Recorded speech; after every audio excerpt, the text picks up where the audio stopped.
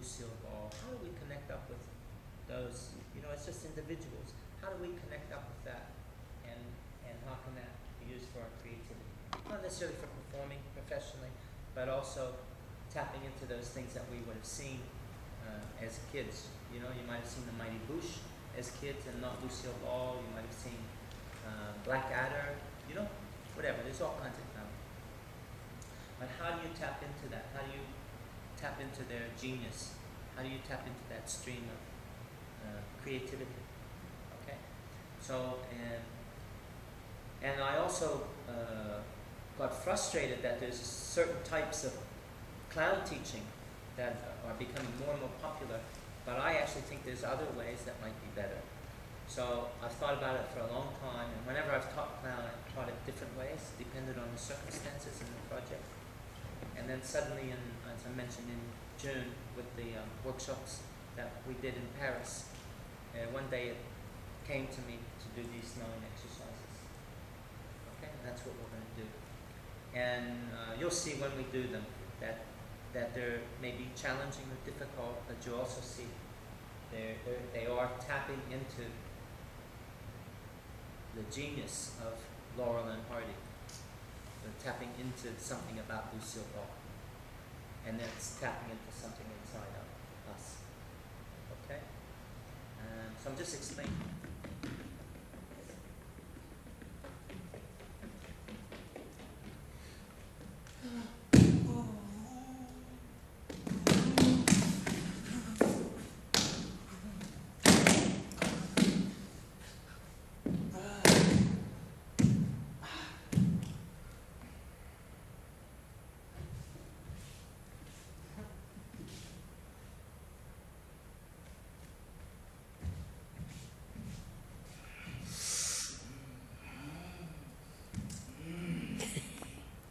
relaxed, yeah?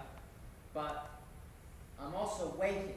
So I've got a, a, a good positive energy of positively waiting to be receptive to the new Im- impulse that's coming from my friend. You understand?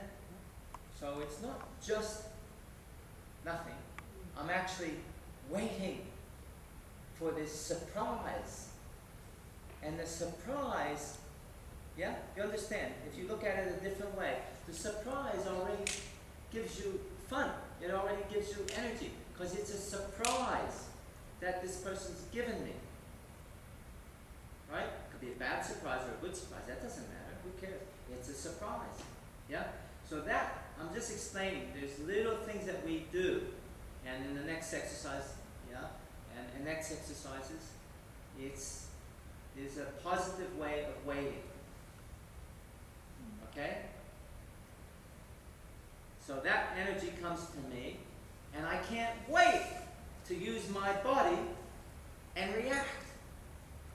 You understand? So I'm waiting receptively. I'm getting that energy that's coming from my friend, my partner.